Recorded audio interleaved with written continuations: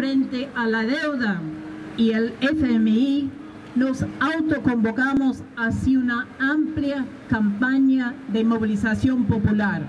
Creo que es un momento importante decir que hay que suspender el pago y hay que analizar hasta el último papel, si es que tenemos todos los papeles que acá se habrán firmado, este, para saber en un momento qué intereses nos comprometimos además a pagar.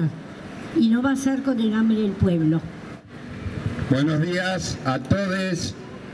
Un saludo del Movimiento Socialista de los Trabajadores en el Frente de Izquierda Unidad. Estamos en este espacio de autoconvocatoria para repudiar este proyecto que está pactado entre el Frente de Todos y Juntos por el Cambio.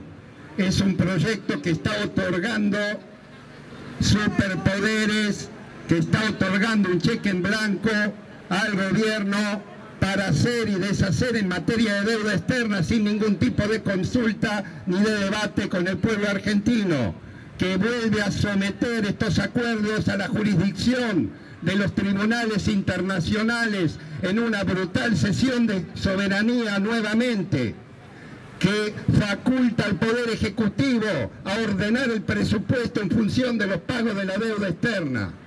Y justamente un presidente que ha criticado correctamente la deuda tomada por Macri, que ha dicho que 8 de cada 10 dólares se fueron por la puerta giratoria, hoy está convalidando esta deuda que es odiosa, como también es odiosa toda la deuda acumulada que fueron convalidando los sucesivos gobiernos hasta el día de hoy y por eso está enajenado el patrimonio, el salario, la jubilación y el futuro de las trabajadoras, de los trabajadores y de todo el pueblo.